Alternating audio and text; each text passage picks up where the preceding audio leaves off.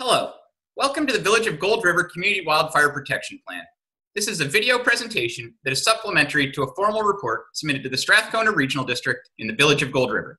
The full report and maps can be downloaded from the SRD website for further reference. My name is Colin Philiter. I'm a professional forester from Swabair that helped write this report, along with my colleague Cynthia Liu, who is also a professional forester. In this video, we'll provide an overview of the Gold River Community Wildfire Protection Plan, which is a 2020 update from the initial 2011 initial plan. We'll review the results of the local wildfire threat and risk assessments, the application of FireSmart program initiatives, and then review the recommendations made within this report. Any relevant but incomplete recommendations from the initial 2011 plan have been accounted for in the 2020 update. The Gold River municipal boundary, including the village site and old mill site, are surrounded by a two kilometer buffer, known as the Wildland Urban Interface, or the WUI. This is marked on the map with a yellow boundary. Gold River is located on Vancouver Island, about one hour west of Campbell River, and has a population of around 1,300 residents. Important infrastructure within the community include two schools, a municipal hall, an RCMP office, a health clinic, a recreation center, and has fire suppression coverage by a volunteer fire department. All maps in this presentation are high resolution, which are included in the final deliverables of this report, which are submitted to the SRD as well as the village. As part of this report, we conducted the suggested local wildfire threat assessment that was developed by BC Wildfire. The assessment is based on a spatial GIS analysis using mapping programs in a number of different factors to calculate the threat. The fuel type around the community has a large impact on the threat score. Fuel type influences the head fire intensity, which is the energy or heat intensity of a fire, as well as the spotting impact, which is the ability for wildfire to spread to adjacent areas. Wildfire threat is also based on historically recorded fire density of an area, including both human caused and lightning caused ignitions. Based on our spatial analysis, the AOI was classified into threat classes, ranging from no threat, such as water, to extreme threat, most of the area around Gold River is classified as moderate threat, shown in yellow on this map, with some small pockets of high threat, which is orange. Recent wildfires within the AOI include a one hectare fire from 2014 that was near Highway 28. This was a human caused fire. A lightning caused fire from 2019 near Antler Lake burned 182 hectares, and this is visible for most parts of town. After we calculated the threat score, the next step is the local wildfire threat or risk classification. Again, this classification is conducted by parameters developed by BC Wildfire and done with GIS using multiple factors to determine the risk. The risk class is based on wildfire threat that we just discussed, the proximity of the community to the threat, fire spread patterns, which are impacted by localized wind patterns as well as slope. It should be noted that proximity has a significant impact on risk. Fuels within 100 meters of the community are higher risk than the same fuel type that might be 500 or 1,000 meters away from the community. For Gold River, most of our mapping for the risk came out at moderate risk, which is shown in yellow on the map. On this map, the red outline shows an area called the Wildland Urban Interface 100, or the WUI 100, and this is the 100 meters surrounding most clusters of structures within the community. Fuel treatment recommendations came from this assessment, something we will discuss later in the video. A common discussion point in this video is around FireSmart, which is a national initiative to provide communities, property owners, and residents the tools to assess fire hazard around their homes and then the strategies to start reducing these hazards.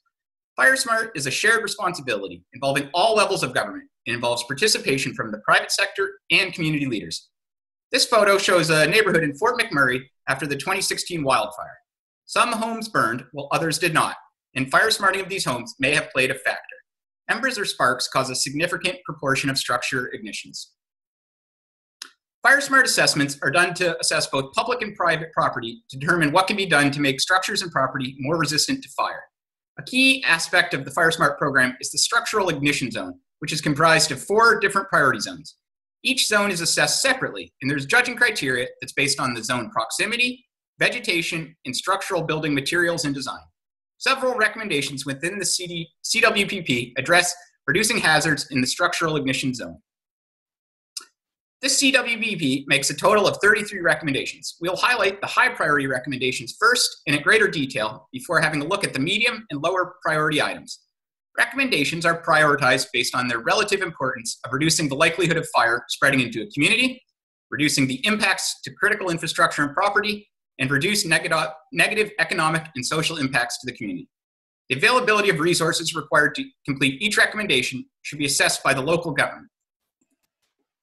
To improve interagency communication and coordinated response to incidents outside of the municipal boundary but within the fire protective services area, it is recommended that the Gold River Fire Department, the British Columbia Wildfire Service, and the SRD review the communication and response protocols for fires within the WUI, including the right of way areas along Highway 28.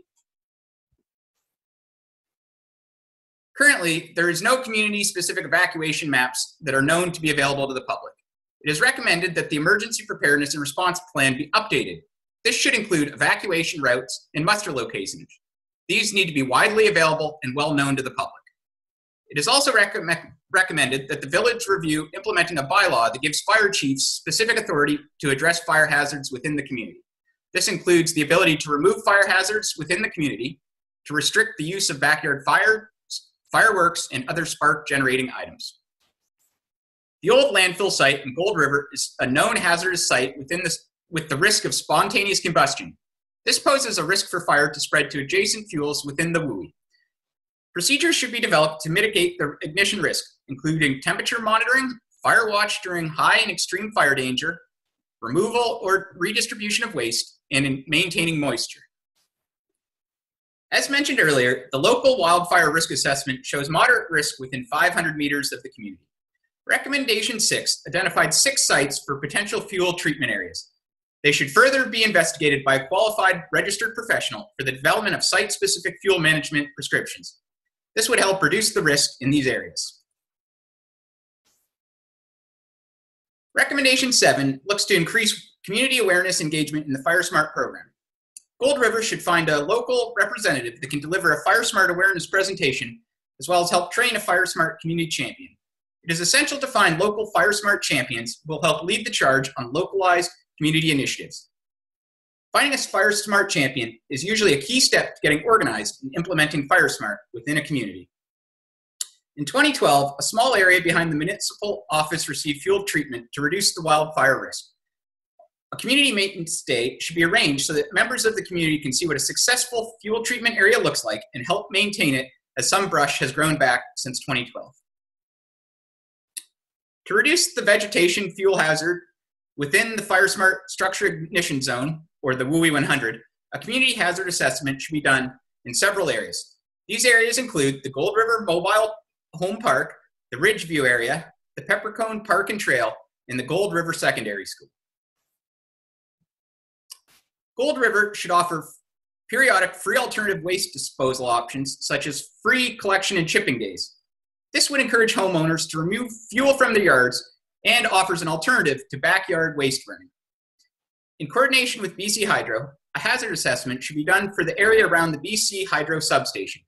Depending on the results of the assessment, any hazardous fuel should be removed around the structure ignition zone.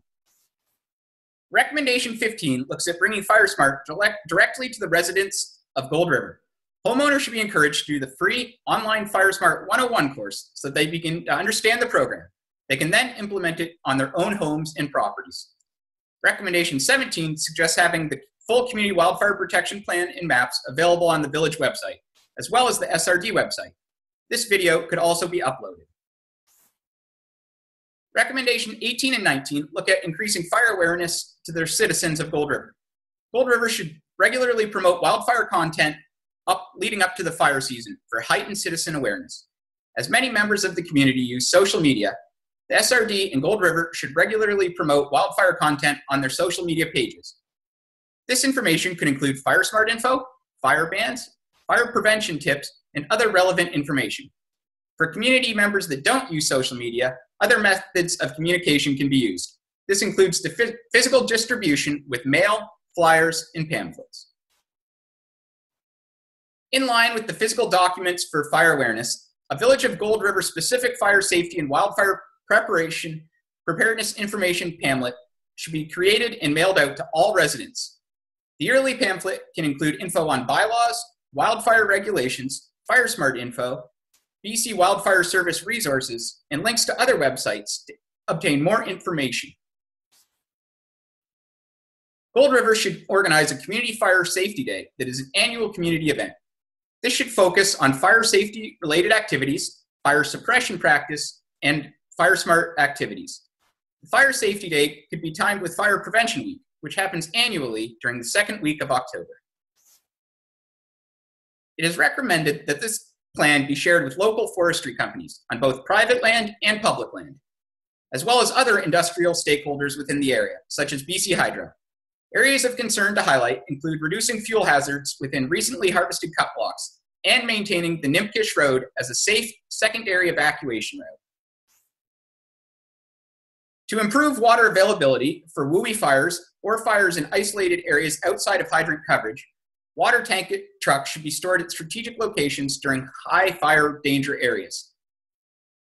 The village could look at to engage in a mutual aid agreement with Western Forest Products for the use of their water tanker trucks for fires within the WUI. Based on community wildfire plan engagement with the Gold River Fire Department, not all members have had the wildland forest firefighting level one training. This is due to timing and availability of the training course. It is recommended that this training be offered when available to all members of the volunteer fire department. Recommendation 31 looks to improve the equipment availability for structure protection by having Gold River engage with Campbell River in a mutual aid agreement. This mutual aid agreement would have deployment of the structural protection units in specified WUI emergencies. We will now discuss the eight medium priority recommendations within this report. Annual community event days are a great opportunity to spread fire smart awareness and educational materials. Gold River should invite a local FireSmart representative to deliver the materials at these days. A key element of fire smarting a home is choosing building materials with low flammability. Gold River officials should provide the FireSmart Home Development Guide to builders whenever a building permit is applied for, as well as consider the guide if local municipal buildings are being built by Gold River. As discussed earlier, there should be an emphasis for moving away from backyard burning of woody debris and waste. As Gold River begins to offer other options, such as hauling away or chipping debris, it is essential that these alternatives are communicated to the public. Regular communication between the Strathcona Regional District and Gold River should occur to ensure implementation of these recommendations are being completed. Annual priority goals should be set and worked towards. Recommendation 25 looks to improve the wildland fire suppression equipment availability. Fire department has expressed the desire to acquire additional fire suppression equipment to be better prepared in the event of a WUI fire. To improve emergency evacuation communications to the community, residents should be encouraged to join the SRD's Connect Rocket. The Connect Rocket is a free emergency notification service that sends out notifications whenever an emergency occurs. Recommendation 30 looks to maintain and improve communications with the BC Wildfire Service. To do so, annual meetings should be held with the North Island Fire Zone and the local fire departments to review the incident command structure and emergency support services. Local community members should be recruited and trained to take on emergency social services training. To build stronger relationships and knowledge within the BC Wildfire Service, as well as with the nearby Tahsis Fire Department, Gold River should coordinate joint annual mock exercises. At these, information and technical practice knowledge are shared. Skills and knowledge to review and practice include fire line construction, pump operations, sprinkler protection, portable water tank deployment, and wildland hose operations. We will now discuss four lower priority recommendations included in this plan. As I mentioned earlier, the village had a small area next to the municipal hall treated in 2012 to reduce the fire risk. This area and future treatments should be revisited every seven to eight years to maintain them. This includes removing any surface fuels and even engaging in understory thinning or pruning as necessary. When building or upgrading municipal buildings, Gold River should adopt fire smart practices. This includes for any buildings on their municipal lands as well as regional district owned infrastructure. Recommendation 16 looks at delivering fire smart education to the schools where specific educational packages exist for teaching younger audiences. Students will often bring home learning materials to their parents, who then can implement FireSmart on their own homes. Recommendation 32 and 33 look at reducing the likelihood of structure fires from wildfire embers by using sprinkler kits. One option for structural protection units is a joint purchase, and this could be shared by Gold River, Tahsis, and the Muchalaht First Nation. Another option is to homeowners to buy their own sprinkler kits to set up around homes and on top of roofs. This is a relatively low cost method in extreme wildfire scenarios that can save structures. To summarize, the area of interest around the village of Gold River is generally characterized by moderate wildfire risk. The risk is moderate to high for mature forest fuel types closer to the community, as well as within 500 meters of structures. The risk is lower moving away from the community. The recommendations that we covered focus on key areas of wildfire protection, including FireSmart activities, community awareness, and education. Other recommendations include developing protocols for known hazards, such as the landfill site, and having necessary fire suppression equipment tools water, and training necessary to fight a WUI fire. For more detailed information, review the Community Wildfire Protection Plan document and associated high resolution maps. We'd like to thank the following individuals for sharing their time with us through meetings, phone calls, field reviews, and information and data sharing. Sean Koopman from the SRD for his vision and encouragement throughout the project, as well as Brad and Lisa from the Village of Gold River for always answering our questions and taking time to meet with us. Scott Boyd from Western Forest Products for providing LiDAR data that was very helpful in our data analysis. All of your guys' ideas, insights, and feedback helped shape the CWPP. For further information, please refer to the full document on the SRD website. Thank you very much.